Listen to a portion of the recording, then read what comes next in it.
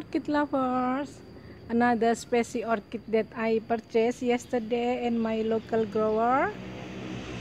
Unique unique orchid with tiny cute here tiny cute flowers but at the moment I don't detect any scent from these flowers at a glance the foliage the shape of the foliage um, looks like uh, phalaenopsis but uh, with slim and tiny here.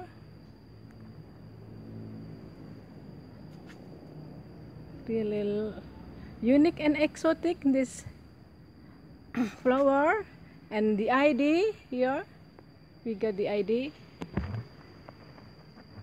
Tuberolabium Rhopalorrhachis hopefully I pronounce properly. Tuberolabium Rhopalorrhachis another type here but with uh, yellow. This one with white and this one with yellow tiny cute flowers. And another one sorry for not getting the ID no ID this one.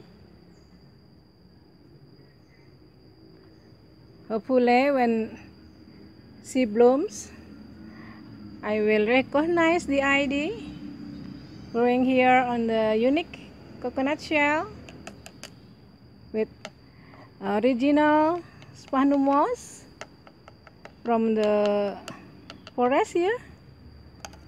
I am a bit wondering why the original sphagnum moss from the forest. If we grow with this medium then pops up a green moss different from the sphagnum moss that I purchased from the orchid store. This is still original sphagnum moss and really good for growing my species orchid.